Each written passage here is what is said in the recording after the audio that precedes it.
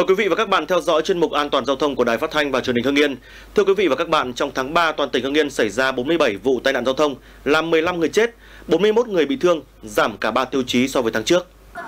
Ban an toàn giao thông tỉnh cho biết, thực hiện nghiêm túc chỉ đạo của chính phủ, ủy ban nhân dân tỉnh, công an tỉnh, các đơn vị đã chủ động xây dựng kế hoạch phương án đảm bảo an ninh trật tự và trật tự an toàn giao thông. Qua đó, tình hình trật tự an toàn giao thông cơ bản ổn định, tai nạn giao thông giảm cả số vụ, số người chết, số người bị thương, đã giảm 27 vụ bằng 36,5% so với tháng tiền kề, giảm 7 người chết bằng 31% và giảm 25 người bị thương bằng 37%. Tuy nhiên, còn một số địa bàn để xảy ra tai nạn giao thông tăng cao là huyện Văn Lâm 8 vụ, huyện Ân Thi 7 vụ và huyện Văn Giang 6 vụ tai nạn giao thông.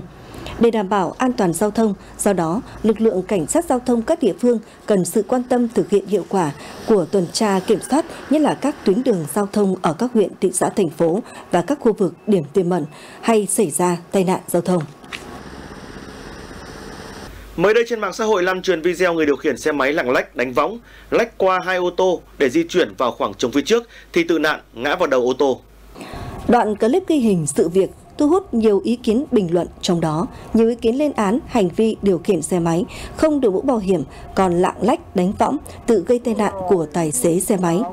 tại các nghị định 100 và 123 của chính phủ quy định xử phạt vi phạm hành chính trong lĩnh vực giao thông đường bộ và đường sắt với hành vi lạng lách đánh võng trên đường bộ trong hoặc ngoài đô thị, lái xe máy sẽ bị phạt tiền từ 6 triệu đồng cho đến 8 triệu đồng,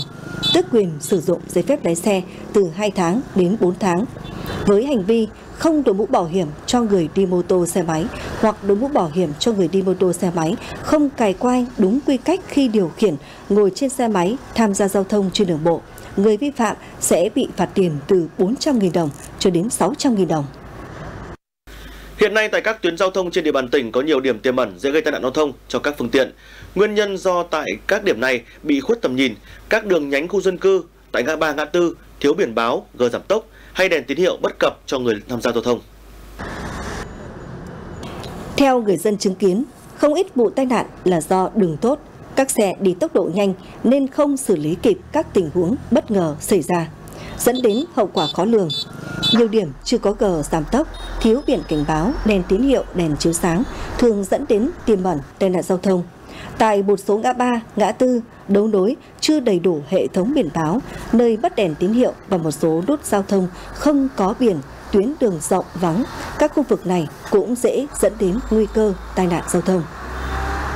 Do đặc thù là tuyến đường vẫn còn chưa có hệ thống đèn chiếu sáng, tuyến đường vẫn đang ờ, nâng cấp và sửa chữa. Chính vì thế chúng tôi sẽ tăng cường tuần tra kiểm soát và xử lý các trường hợp vi phạm. Nguyên nhân hay xảy ra tai nạn là do phóng nhanh, vượt ẩu, lạng lách đánh võng, thiếu chú ý quan sát biển báo. Lực lượng cảnh sát giao thông cho biết, những khu vực dễ dẫn đến tai nạn giao thông đều ở các đoạn giao cắt qua khu vực có nhiều đường ngang.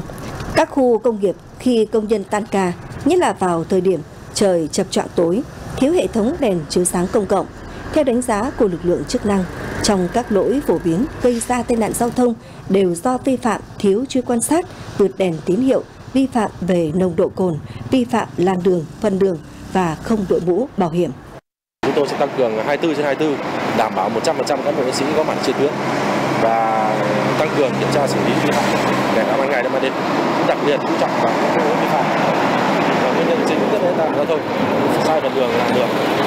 quá tốc độ quy định sử dụng rượu bia khi đang điều khiển phương tiện để việc tham gia giao thông an toàn, ngoài nhận thức ý thức an toàn của người tham gia giao thông, lực lượng cảnh sát giao thông cũng cần tăng cường kiểm tra xử lý nghiêm các hành vi vi phạm về trật tự an toàn giao thông. Ngoài ra, cơ quan chức năng nên xem xét điều chỉnh lại những quy định về đặt biển báo vận tốc, hạn chế tốc độ, chỉ số đồng hồ thời gian tại cột đèn tín hiệu khu vực đông phương tiện, khoảng cách không quá gần những điểm giao cắt để người điều khiển phương tiện chủ động trong việc đảm bảo an toàn, tránh những vụ tai nạn giao thông đáng tiếc xảy ra. Chuyên mục an toàn giao thông do phòng thời sự, Đài Phát thanh và Truyền hình Hưng Yên phối hợp cùng Ban an toàn giao thông tỉnh thực hiện đến đây xin tạm dừng. Cảm ơn quý vị và các bạn đã quan tâm theo dõi. Xin kính chào và hẹn gặp lại.